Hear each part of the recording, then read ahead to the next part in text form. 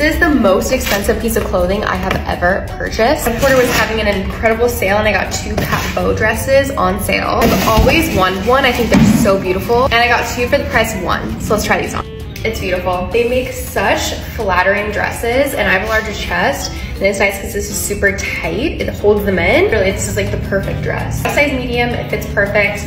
Cutouts here, a little cutout on the back. This one is also beautiful. It's a little long, so I think I might have to get this hemmed. But again, got a size medium, fits perfect. I love like the cutout. Their dresses are always super flattering on the chest. This one, the lower back is cut out. They both kind of have like a shoulder pad thing. I like that angular look, especially in like a flowy dress. I guess my wallet's not happy, but I'm gonna keep them both.